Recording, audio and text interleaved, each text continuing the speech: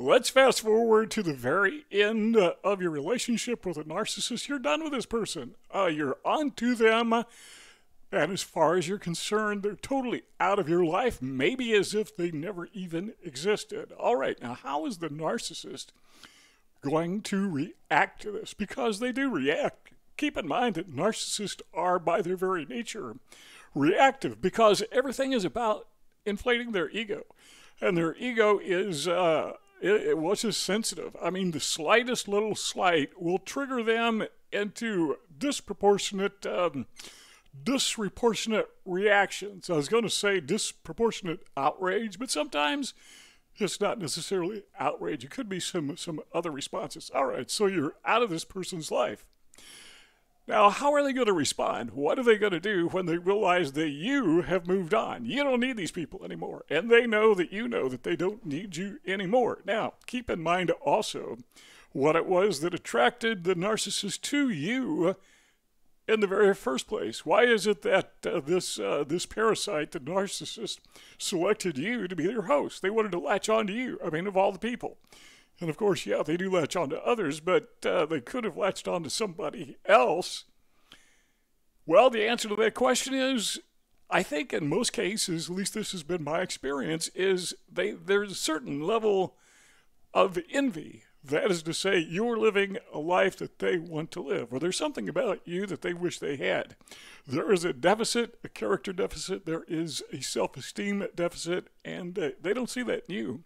So if they become a parasite, latch onto your life, make you miserable, then somehow in their twisted thinking, uh, they will feel better. They will be happier because they will dominate the person who they view is dominating them. Now, that's really weird thinking, right? That somebody would see you as being the dominant person in their life simply because, from their perspective, you seem to be doing a lot better. You seem to be happier. You've got your life together. You're probably doing better financially. Your family life is much better. You're probably even driving a nicer car. Or if not, you're driving a car that's paid for. They may have a nicer car, but man, they go deep in debt to get that thing trying to keep up with the Joneses, so to speak.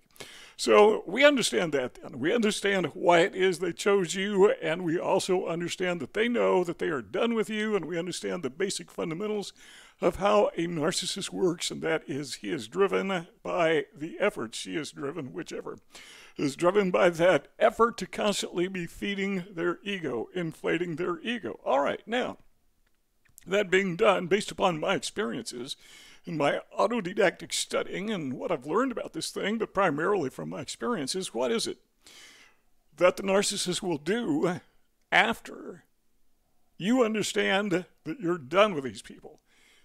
And they get it too. You know, they know that you are done with them. But the narcissist, it seems, is never done. Well, I've noticed that there are seven different reactions. And your narcissist if you are over the relationship, you may have observed these same things. But if you're not to that point yet, you probably will observe at least one of these. And, uh, you know, no two narcissists are going to react alike, but typically you will find at least one of these seven characteristics, probably multiple characteristics that we're going to mention overlaid. So listen to these. Um, Listen to these seven things and see if you can identify with any of them. Chances are you'll identify with several. Well, number one, this one is almost inevitable, and that is they will unload a massive smear campaign. I say it's almost inevitable. No, it doesn't happen every single time. Uh, I can recall engaging with narcissists in the past where they didn't unload a smear campaign. At least if they did, I was totally unaware of it. Uh, it kind of defeats the purpose of having a smear campaign, or maybe they just didn't have access to all the people that I knew. Maybe their social circle was so different from mine that they just weren't able to make those connections. And it could be that they're just different types of narcissists where the smear campaign is not necessarily inevitable, but that's few and far between. But yeah, it could happen. So, number two, I was trying to think of what to call this. And so I decided to call it the uh, roadkill response. Now, what I mean by that is simply this you've been driving down the road, probably late at night, and you hear a bump or you see this thing running in front of your headlights. And before you can swerve, stop, whatever, there's the bump. And you know, Yeah, you're not sure, but probably you ran over a squirrel, whatever. Uh, what happens when uh, what happens when you do that? Do you pull the car over, go back, and see how the squirrel's doing? Uh, I don't know anyone who does that. I'm sure there are some people who have just that much empathy. Now, what happens, I think, to most of us, yeah, we don't want to run over a squirrel.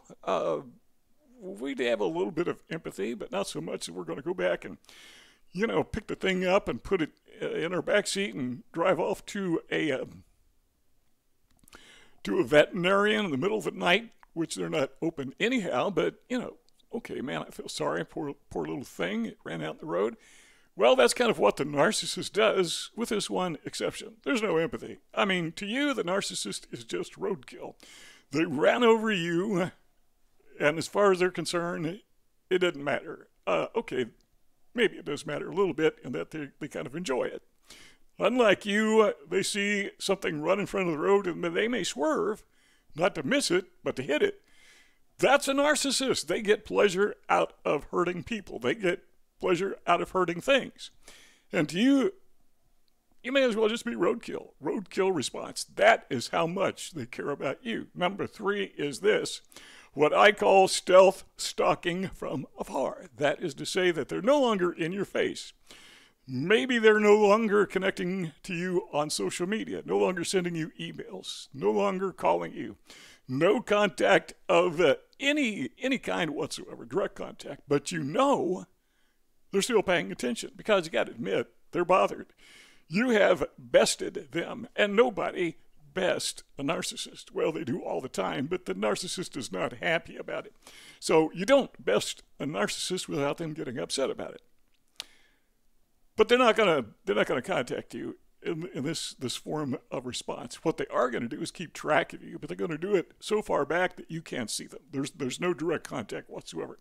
How do you know? How do you know they do this? Well, I mentioned this in other videos, but uh, a few years ago, I think it was probably uh, maybe 10 years ago now that uh, I, I had I had an accident where I fell off a ladder and had a brain injury, and you can still see the uh, indention in the side of my head when that happened, uh, as a result of having brain surgery. And when when it happened, guess who uh, was delighted, excited, just flat out giddy about it because they heard that I was in a coma, that I was flown, uh, what do they call those things, airlift or whatever, to a hospital for emergency surgery in the middle of the night. Actually, I fell off the ladder in the daytime, but it was nighttime before they got me up there. But um, the narcissist, yeah, just giddy about it, happy, excited. You know, checking out the obituaries, making sure, you know, man, maybe today will be the day. How do they know that? Well, obviously they're in contact with somebody somehow, some way, and they would know it like like almost in real time. You know, it's not like the news took two or three days to get around and circulate, but these people, or in this case, this individual, knew about it immediately. So, yeah, they're tracking, they're paying attention. They got their uh, GPS, so to speak, attached to you, and they're hoping, because they can't hurt you, they finally figured that out. But they are hoping, praying that somehow, some way, that uh, you're going to be hurt. And that is one of the responses you get. Now, in my opinion, that's one of the better responses because they are totally, completely out of your life. And by the way, if you see a little dot on my shirt, that's actually um, sunlight because it's in the evening and I'm facing west and there's a hole in the uh, um, in the blinds that's coming through. So uh, you know, there they are. They're afar. They're paying attention and they're hoping you get hurt. Another way they respond is what I call, well, it's not what I call. It's what uh, it's kind of a clinical term because I've heard it from so many different sources, but it's called duper's delight. So the narcissist has duped you big time, and uh, you're very much aware of that. And you know that uh, now that he or she has really gotten, uh, well, like we just mentioned a moment ago, they've gotten kind of a thrill out of the fact that they have ripped you off, that they have scammed you. But now they want to uh, how do we how do we say this? They want to do it in your face. They want to have this in your face celebration moment where they are showing you that yeah, I screwed you over and I got away with it. Now what are you going to do about it? And usually, typically, that will manifest itself in a smirk. Maybe they will stare you down and smirk and say, "What? what are you going to do about this? And I've mentioned this in a couple other videos, but I had a narcissist in my life, and he had this really weird thing. And I saw this uh, before I understood the guy was a narcissist, but I saw him do this to other people. That he would pace back and forth in front of them. He wanted them to see him. They wanted him, or they he wanted their victims after he discarded them. He wanted them to see him and enjoy the fact that he got away with it. Duper's delight. A lot of times, you know, you see serial killers like Ted Bundy, and he wanted to uh, be his own attorney in court uh, when the, the, the relatives of his victims were in the court. Was that Duper's delight? I think maybe it was. I don't know for sure. I can't read the guy's mind, and he's been dead, man, what, 20 some years? I don't know how long. But um, he wanted to replay and get a little more a little more ego boost, a little more supply just from talking about the people he had killed in front of their relatives. That very well could be a form of duper's delight. But the people who duped you, these narcissists who took advantage of you and seemingly got away with it, at least in their thinking and their mind, they want to relive that. They want to goad you with that. Uh, they want to poke you with it and say, okay, now what? What, you, what are you going to do about it? You know, I hurt you and I enjoyed it and now I'm going to enjoy your response by seeing me and knowing that there is nothing you can do about it. At least that's what they think. Fact of the matter is, there's a lot you can do about it, and that just shows you how shallow and short sighted the narcissist really is. Duper's delight. All right, number five is this. This is something that I have noticed. I've not heard a lot, of, well, I've not heard anybody talk about this before, but it's something that I call all is well hoovering. That is, they haven't broke off total contact, but they may send you an email, they may send you a text message, or they may bump into you accidentally and they act like nothing ever happened. You know, hey, how you doing? How things going? Um, a few years ago, man, almost 20 years ago now, I ran for political office and uh, got a message from uh, a narcissist, this guy that, uh, man, I, I, almost took him to court because he, he stole so much. In fact, I would have sued him but uh, would have been pointless because even though the the uh, attorney rather was confident I'd win the case. I mean, it was so clear that this guy ripped me off. There's no question about it. But um, he was judgment proof. He didn't have any resources. There was nothing I could get from him. So basically, I just waste money on court costs and attorney's fees, which would, uh, you know, just add to the damage already done. But, you know, after that was all done and gone, you know, here he comes. Hey, how you doing? Heard you're in for office. You know, just like nothing, like nothing ever happened.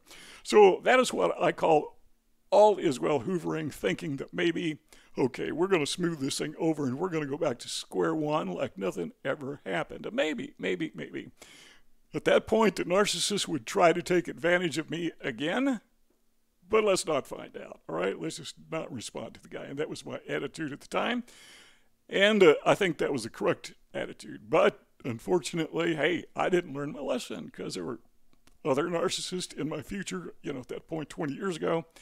And still, you know, I'd fall, fall for their scam because I'm naive and I'm gullible and I've got some character flaws, and those are two of them being naive and gullible. Number six, another response sometimes we will get from these people, these people being covert narcissists, is they will prod you by connecting to uh, close friends, or maybe family members. And they will reach out to them usually through uh, social media. I say usually, that's just based on my experience. They may have other ways of reaching out to your family or your friends, and they will contact them knowing that your dear sweet whatever, you know, brother, sister, mother, father, wife, husband, spouse, whatever it is, it's just too nice to cut them off. Just too nice to ignore them. And I say, look, you gotta ignore this person because, you know, they're a narcissist, but they won't do it. You know why they won't do it? Same reason I wouldn't do it. You know, when when I knew that I had family members who were having a problem with this person, but oh man, they're just, you know, they're overreacting. This person, they just don't have they don't have a filter, but other than that, they don't mean harm. Yeah, actually, they do. And I didn't know it until I had the point of reference, until I was in that position. So they will sometimes get to you indirectly. And the people they use as flying monkeys don't even know they're flying monkeys, don't even know they're winged monkeys, don't know they are narcissists by proxy. But they are. And you try to tell them, say, oh, no, I'm okay. We're fine. You know, I, I understand. I get it. It's not a good person, but it's okay. We can still communicate. They don't understand what's going on, and there's nothing you can say or do to convince them until they themselves become the victim. At least that's been my experience. Number seven is this if they get a barrier shock, you know, now when I talk about barrier shock, I mentioned this in another video, but I want you to, to imagine that you've built this barrier around you. Figuratively, figuratively speaking, speaking in terms of allegory. And this barrier that you build around you is nothing but electrified fence. That's it.